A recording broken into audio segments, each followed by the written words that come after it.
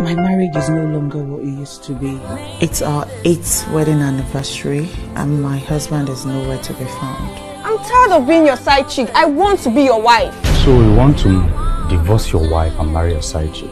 Why would I put up with a man I don't love anymore? Marriage is not a draw die affair. When am I meeting your wife? Tomorrow. You should talk like a gentleman, with confidence and class. That's the only way you get her attention.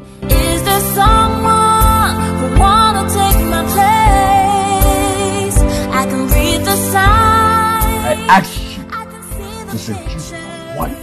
And now I'm asking you not to go close to her again. Don't see her again. I love you, wife. Patrick here proposed to me. Is there